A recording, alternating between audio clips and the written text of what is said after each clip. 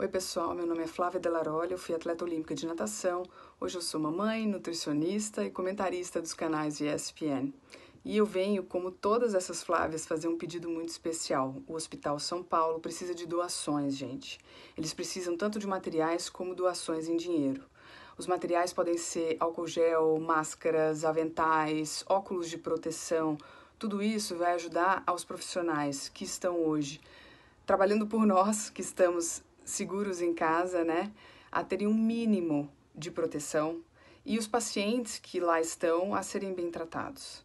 Então, por favor, ajudem. Quem não puder ajudar em doação, que compartilhe a campanha para que chegue a maior número de pessoas. E eu conto com vocês para que a nossa generosidade ajude a salvar cada vez mais vidas. Muito obrigada.